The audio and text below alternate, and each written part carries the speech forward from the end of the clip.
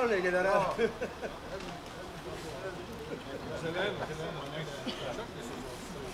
Well,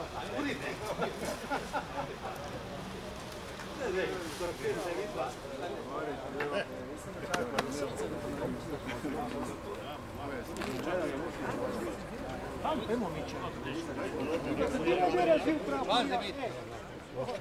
Prijatno mu pomalu držati.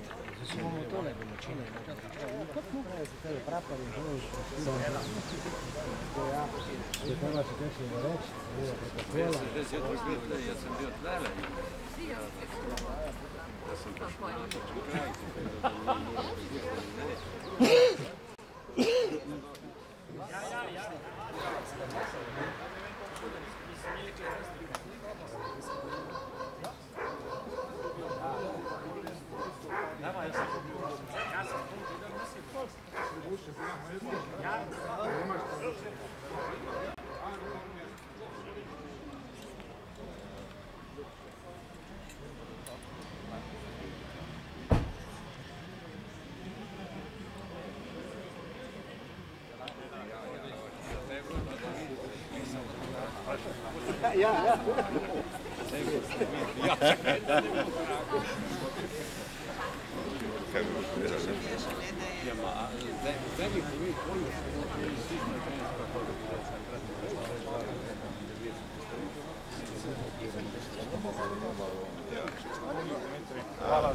bomo tole domačine.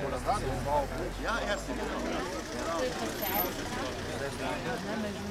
Jaz sem bil tlele. Ja, verjamem. Ja, ma, ženske se zmeri moške spomnimo. Ne? Ja, in je, in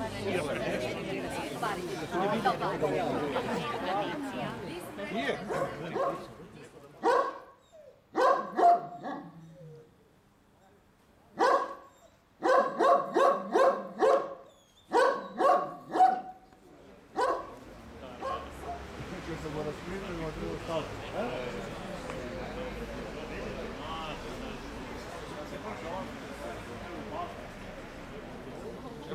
Če še pisal par besed.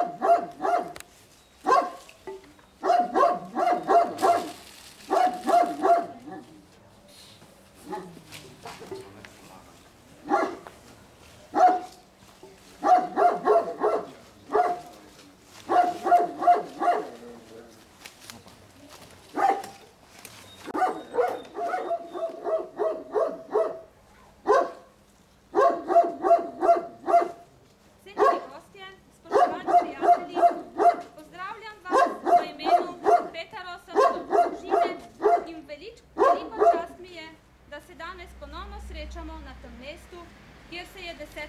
januarja 1945 dogajala najkrutejša človeška usoda in snovala pomembno poglavje v zgodovini Bošta in Enobeja. Sem potomka družine Petaros, danes je živa le še moja mama. Prav na tem dvorišču je bila nekdaj Petarosova domačija, ki so jo po domače pravili Pritoninovo. Nona Minca in nono Miha sta imela deset otrok. Pet jih je umrlo v otroštvu, dekle se je omožilo v Dudino, štirje fantje pa so se v temačnih časih aktivno vključili v vrste enobeja. Starša pa sta skrbela in pomagala partizanom v vasi.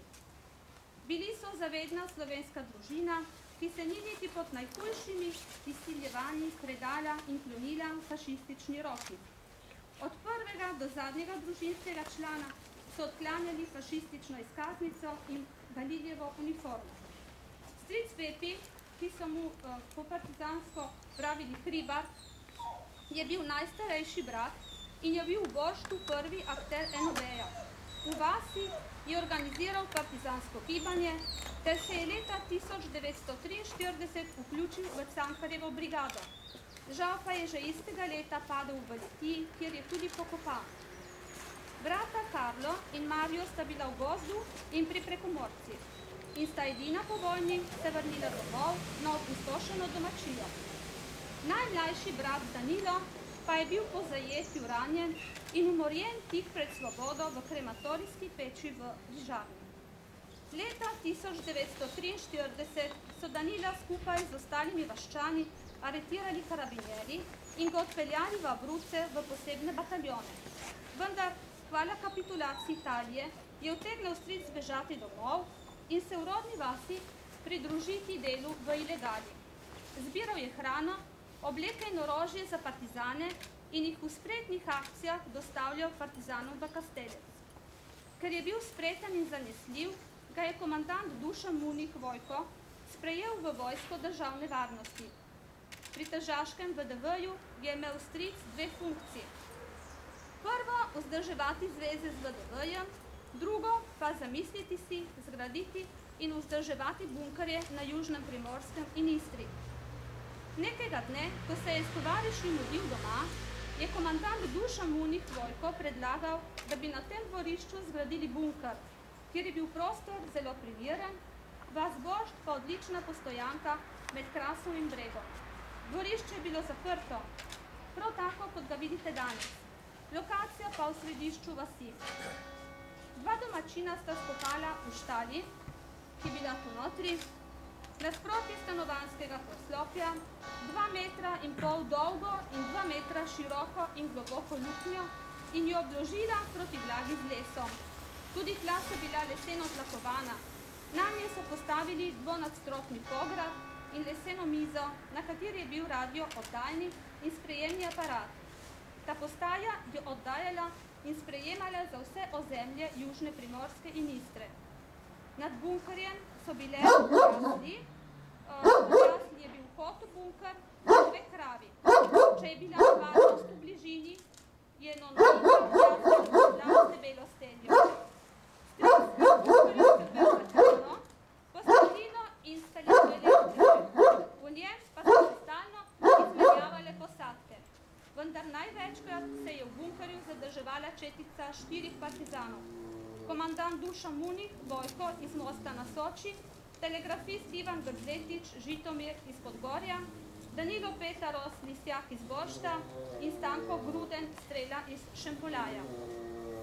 Nemci in Kolotjeva tolpa so večkrat udrli v vas in skušali z ustrašovanjem izvedeti domovina o partizanskem gibanju v vasi. Če ne bi prišlo do izdajalstva, se danes ne bi srečali na tem mestu.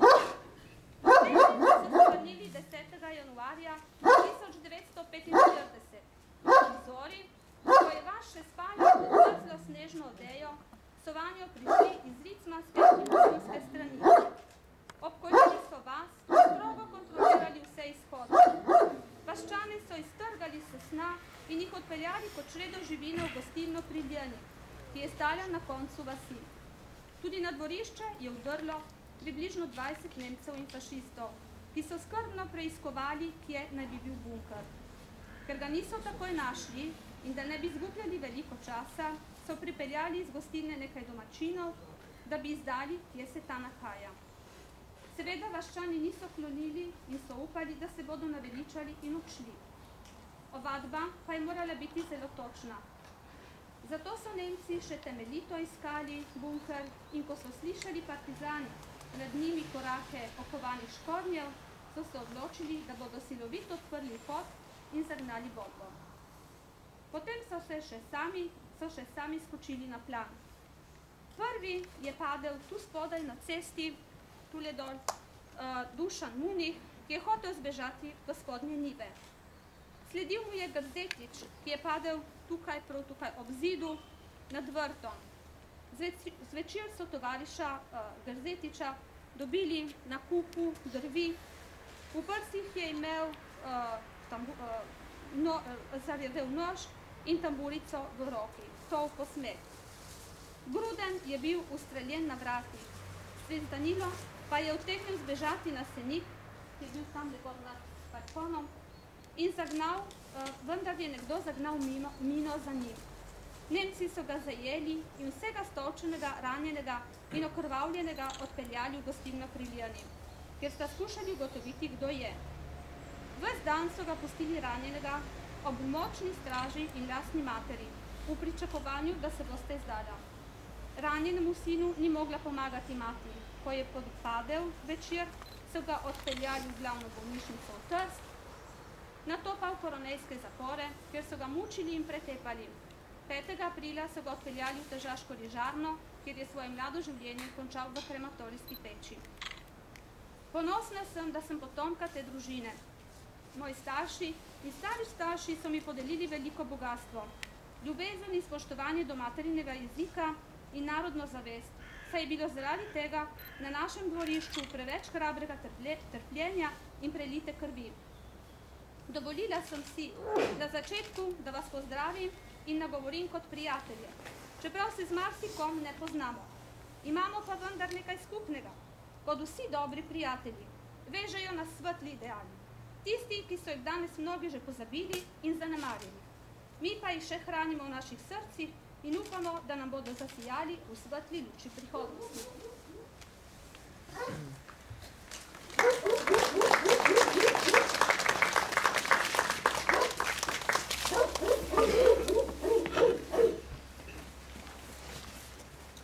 Karel Destovnik Kajuh, bosa pojdiva. Bosa pojdiva, dekle, ob sorej. Bosa pojdiva, prek zemlje trpeče. Sredi razsanjanih češnjih vej, sežem ti nežno na neko poteče. Beli so, beli so češnje svetovi, temni, pretemni so talcev grobovi. Kakor ponosni galebi nad vodo, taki so pali za našo svobodo. Bosa pojdiva, dekle ob sorej, bosa pojdiva med bele svetove, v krilo nalomiva češnjevih vej, da jih poneseš na talcev grobove. Karel Destovnik Kajuh, samo en cvet. Samo en cvet, en češnjev cvet, dehteč in bel, odlomi, moja draga. Ne bom ga za klobuk pripel, ne bom ga v gumbnico sidel, odlomi ga, odlomi, draga. Jaz bom ljudem poslal ta cvet, vsakomur, ki na križ pripet trpil pomladi tej.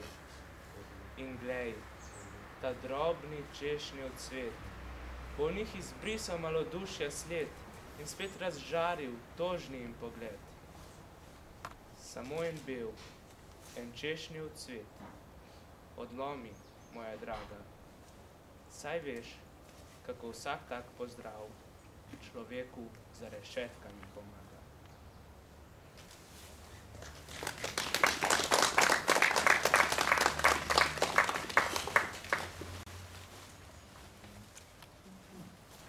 Dobar dan in dobrodošli vsem. Nisem bil seznanjen z današnjim srečanjem. Zelo mi je žal, so me poklicali pravkar, zato sem takoj prispel, da vas pozdravim. Z veseljem ugotavljam, da se dobimo na takih mestih, eh, ki so za, naše, za naš teritorij, za našo občino zelo važni, saj v tem tudi na tem kraju so se tudi življenja darovala za tisto, kar imamo mi danes, s katerimi danes lahko razpolagamo. Tako, jaz, mogoče me ne poznate, jaz sem Sandi Klun, župan občine Dolina, tudi tale vas tukaj Boršt špa, spada eh, v našo občino. Dve besedi prav samo v občini, mogoče ki je ne poznate, kot sem rekel, občina Dolina, San Doligo della Valle Dolina, kot veste, tukaj je mešano območje, zato ker ob meji, ob meji sedaj s Slovenijo, prej z Jugoslavijo in tako to vi vsi dobro poznate. Naša občina ima nekaj manj kot 6000 prebivalcev, en kup manjših vasic, to je lahko rečemo ena manjša vasica, dve večji vasi sta Boljunec in Dolina, približno okoli tisoč ljudi jih imata, to je tiste dve vasi, ki jih vidite tukaj pod nami. Vsaka vas, kot sem rekel, tukaj smo po večini Slovenci, ne vem, če je primerno, da jaz govorim v tem prostoru, da malo opisujem občino, ma mogoče, če ne druge prilike, ni, kot sem rekel, tukaj po večini Slovencev, lahko rečemo od šestdeset do petinšestdeset procentov je nas Slovencev, imamo slovenske šole, tukaj vidite tudi gospo ravnateljico, ki našega, naših slovenskih šol. Vsaka vas ima tudi slovenska društva, imamo slovensko športno društvo, poleg, kot sem rekel, v vsaki vasi je svoje kulturno društvo. Ne vem, kaj bi lahko še povedal, gojimo, obnavljamo vedno te naše spomine, predvsem, ker nas, kar se tiče osvoboditve, kar se tiče partizanstva, darovali smo kup življenj, imamo tudi eno srednjo, eno sreden spomenik, ne vem, če boste šli mimo njega ali ste že bili. To se pravi, da naš duh, ker se zavedanosti naše, našega materinega jezika in naše, našega obstoja v tem teritoriju, ga obnavljamo vsak dan. Letos bo sedemdesetletnica konca druge svetovne vojne. Mi, veste, že od dvajsetih, petindvajsetih let naprej smo imeli velike probleme, predvsem z obstojem, z našim obstojem, z obstojem našega slovenstva. Jaz danes sem Kljunt, v resnici do pred dvajset let sem bil v koloni, zato ker moje nono, to mojim prednikom so iz slovenskega priimka Kluna nam zamenjali priimek v italijansko verzijo Koloni in potem smo se jih nekje po letih šestdeset, sedemdeset, ne vsi, ma nekateri, večji del nas ponovno spreminjali v slovensko verzijo. Jaz sem nekje v letih sedemdeset ponovno postal Klun. Tako na kratko, ne bi hotel vas preveč obremenjevati, hvala lepa, da ste prišli. Kot pravim, nisem bil obveščen, ampak ponosen sem, da ste tukaj v teh krajih, tako so za nas.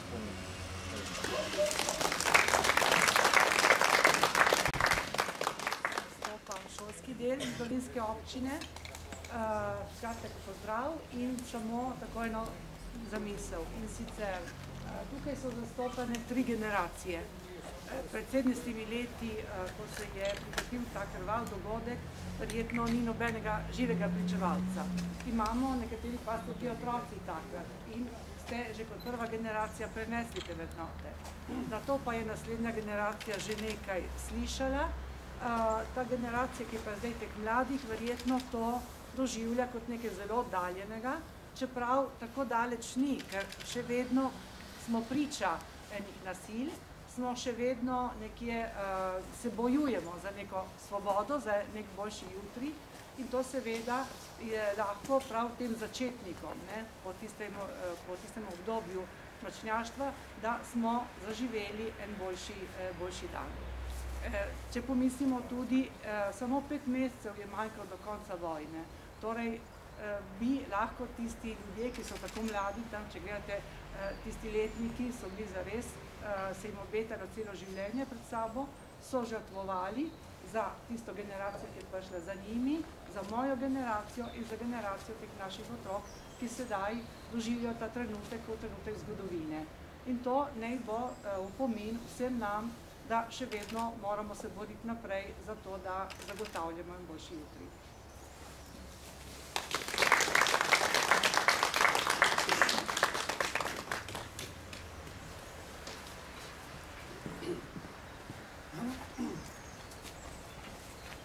Dober dan tudi v mojem imenu in bi rad spregovoril nekaj besed z naše strani, iz Republike Slovenije. Spoštovani prijatelji, in oprostite, če je kdo tudi tukaj italijanske narodnosti, cari amici, buongiorno. Vsi, ki se danes tukaj zbrali, da bi se spomnili in poklonili trpečim domačinom in štirim junaku Bošta, prisrčno pozdravljeni.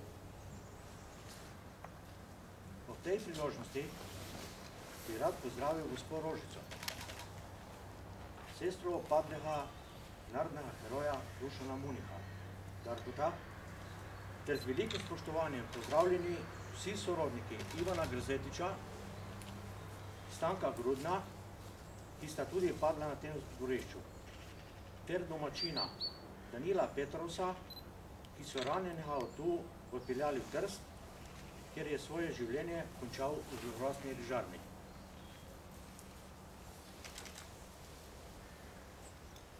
Posebej bi rad pozdravil še nekatere ljudi, ki so se danes odzvali današnji žalni slovesnosti. Dušan Munih Darko in tovariši so bili pripadniki druge brigade Vojske državne varnosti.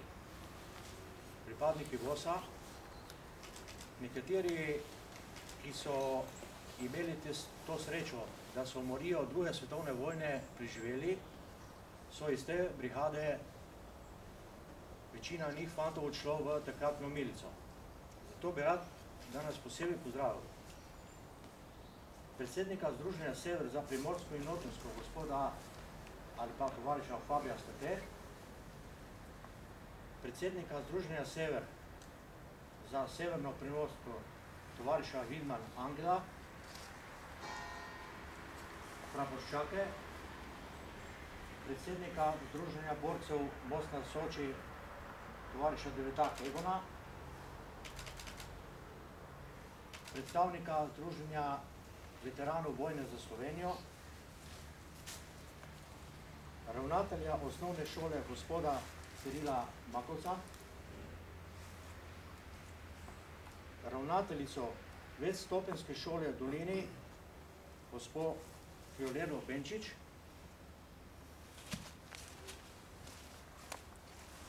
predstavnika Združenja AMPI, italijanskih partizanov, oprostite, Edvina Švaba. Borce in borke, udeležnice narodno-osvobodilne boje.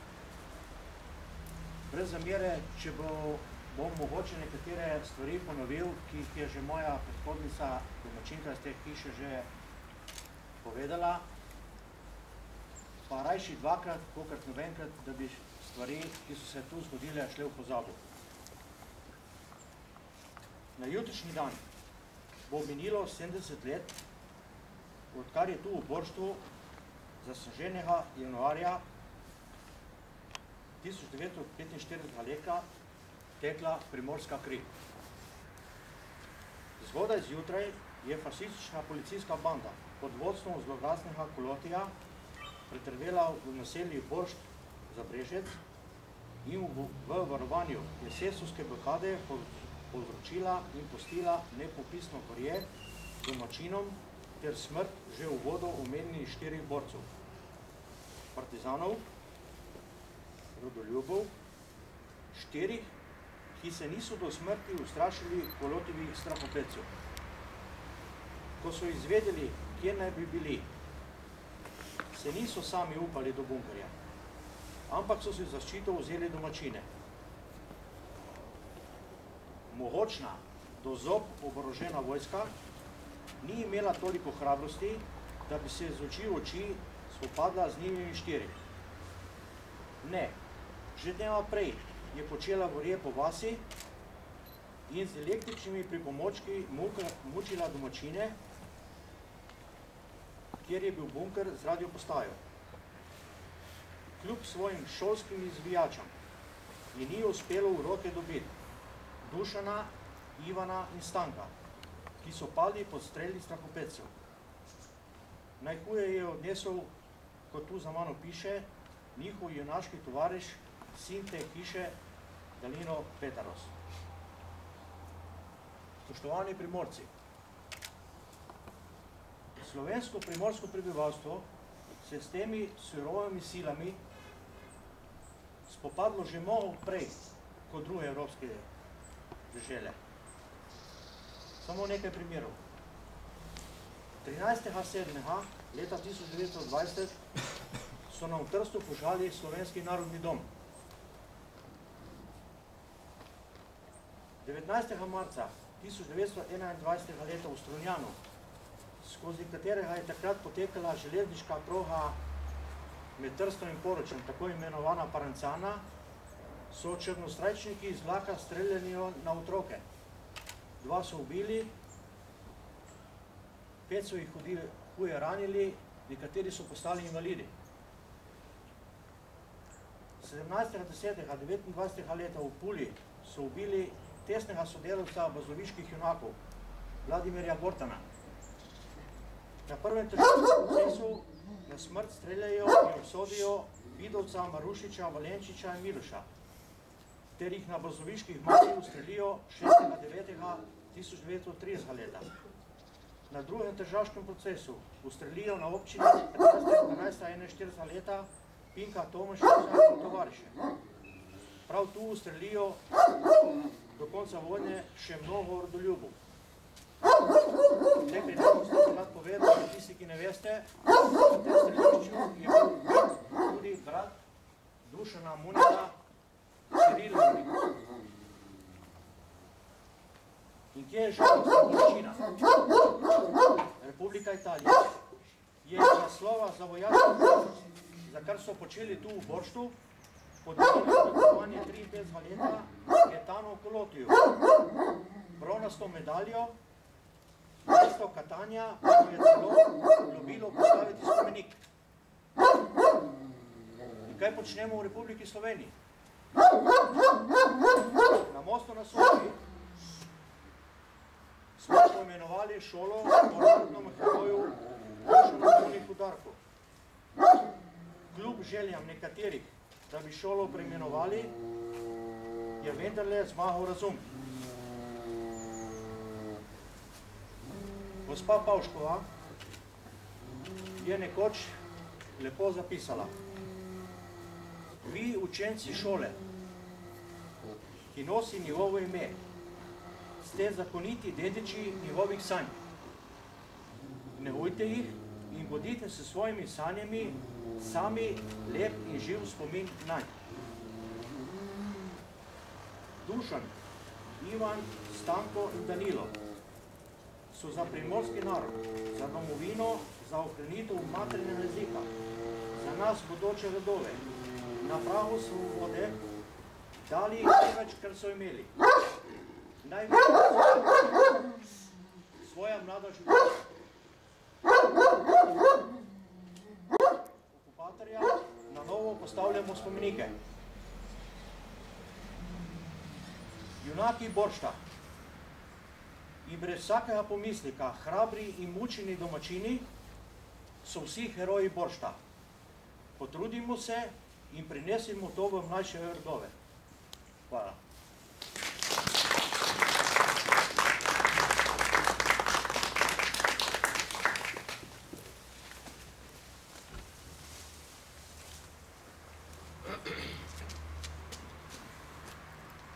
Spoštovani gospod in tovariš župan, spoštovane in spoštovani, prisrčno pozdravljeni tu pri nas. Slovenski pregovor za ceste je, pravi, na cesti nisi sam. Ma, bolj, veliko več, večjo težo ima ta rečenica, da nismo sami. In to je dokaz današnji vaš obisk. Jaz ne pomnim, da bi na tem dvorišču bilo toliko predstavnikov našega odpora. Med, med, med vojno, pod padcu fašizma in rekel, predvsem po padcu fašizma, ampak tudi prej, tu ni bilo nobenih mej, čeprav eh, je bila tudi Italija do Ljubljane. Eh, in tudi danes ni več teh mej. In zato eh, mislim, da eh, je ta vaša prisotnost dokaz, da eh, nismo sami in da ne smemo biti sami in da moramo biti povezani, eh, kako bi rekel, ja, tisti, ki smo bili skupaj v eh, odporu, ampak eh, še bolj široko, z vsemi ljudmi in eh, to je seveda bolj zahtevno. In eh, ta vaša, eh, bi rekel, eh, odločitev, da se pojavite danes, to vi ste verjetno ugotovili, da smo bili nekoliko iznenadeni in eh, eh, da smo pa to stvar eh, smo in da bomo morali še bolj ovrednotiti s hvaležnostjo, ampak tudi z vzgledom, da kdor se je boril za svobodo, ki ni bila samo njegova, je bila svoboda za ljudi, za vse ljudi. In, in to eh, je treba, in mi imamo čiste, bi rekel, imamo dovolj, dovolj, dovolj čist, čiste, čiste, čiste naše, kako bi rekel,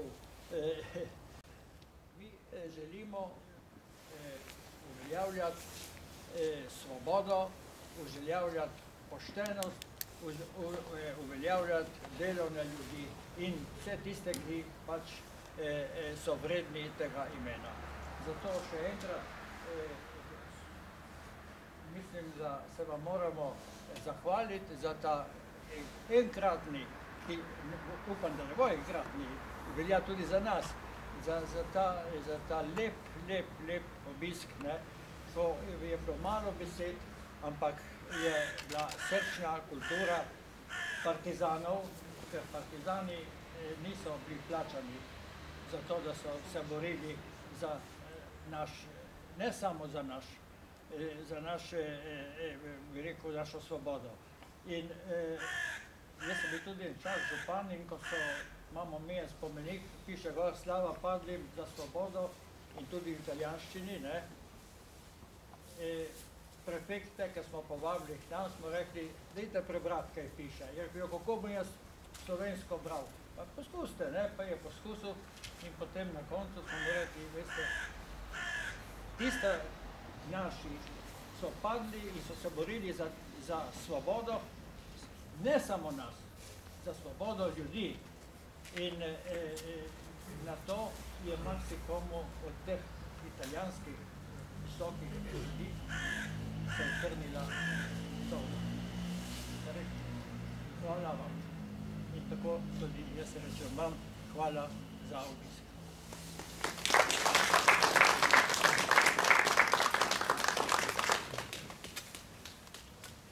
Ja, en lep pozdrav še tudi v imenu osnovne šole, ki nosi ime po našem narodnem heroju Dušanu Muniku. V čast nam je, da smo se zbrali in da smo danes na tem mestu počastili ime našega narodnega heroja v takem številu in s tako, tako številčnimi delegacijami. Mi kot šola seveda prenašamo to njegovo, njegove sanje na mlajše generacije, se trudimo v bistvu za to, da prenesemo to, kar smo mi dokazali že danes in se v današnjem času tudi v veliki meri pri mladih izgublja. Živeti za nekaj, kar ni samo naše in podati naprej, kar smo prejeli odprej. Tako da hvala lepa vsem za obisk, hvala lepa za počastitev in seveda kadarkoli tudi lepo vabljeni na našo šolo. Dobar dan, jaz sem Darko Grezetič z Podgorja Nečak, od pokojnega Žitomerja in sem te fante kot šestletni deček zadnjič videl 44 leta. Meni se zdi, da nekje okrog junija meseca, ki so bile pri nas, ki so bile mladi fantje, heroji, se niso dali, ne, čeprav je da fašistična postojanka na postaji železniški ni bilo nidr, težko priti skozi vas od Podgorja. In sem htel se vsem zahvaliti in še v imenu moje mame, ki je stara 103 leta in naj nima, da se udeležite poslave, je rekla, da ne vseh, da se ne vsem zahvalim, ki ste prišli sem in vas lepo pozdravim. In še nekaj sem ti, še da apeliram vse, ki ste mlajši, ki lahko nekaj storiste, tudi jaz, ker bom mogel moji moči, da naredi, da ustavimo slovenske naciste, da ne več zmerijo te junake za zločince. In vse naredimo, da ohranimo lepe spomine in naj jim bo večna slava. Hvala.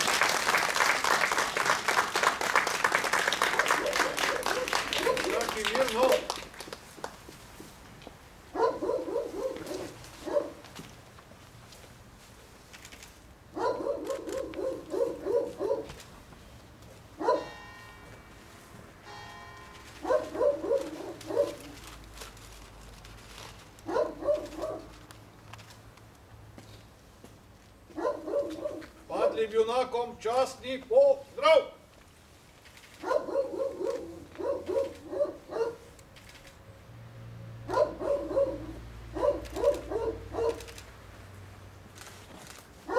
Mir, no! Ame sploh no.